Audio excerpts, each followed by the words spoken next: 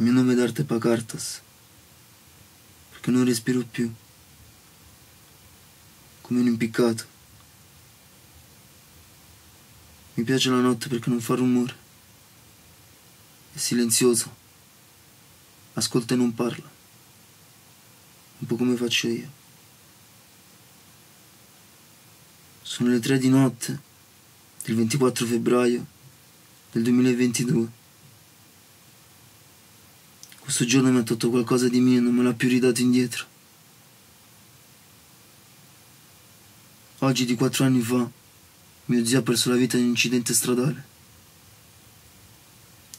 Mentre io ho perso uno zio, mia madre ha perso un fratello, i miei nonni hanno perso un figlio, mio cugino un padre e mia zia un marito. Il giorno che morì faceva caldo e c'era il sole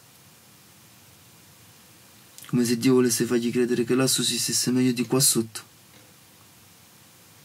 Lo ricordo come ieri. Capitò di sabato. Lo chiamai per chiedergli se mi avesse prenotato un tatuaggio da quel suo amico tatuatore. Lui mi disse di sì, ma in realtà già sapevo che non l'aveva fatto. Perché non voleva mi tatuassi, o forse si era solo dimenticato. Dopo circa due settimane andai da quel suo amico a tatuarmi.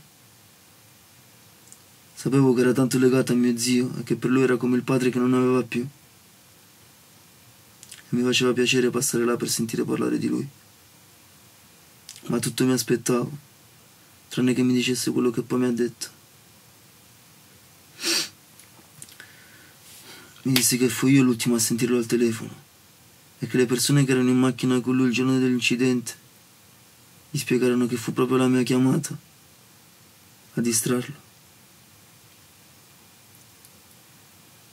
Quel giorno mi tatuai morto dentro sulla bocca dello stomaco. Dopo un anno dalla sua morte sono uscito cantante.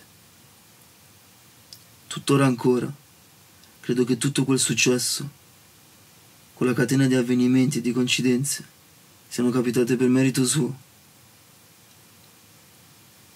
Mi sento come toccato dall'alto, come se fossi stato salvato, proprio come il significato del suo nome. Salvatore. Ho voluto chiamare il mio primo disco come lui perché mi sentivo di doverglielo.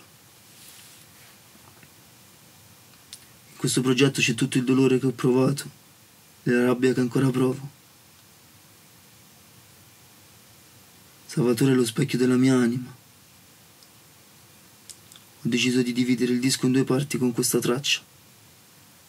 La prima parte contiene i pezzi più leggeri e banger.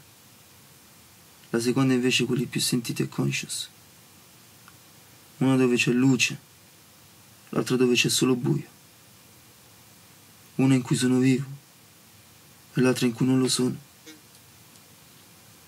Buon ascolto a tutti. Salvatore.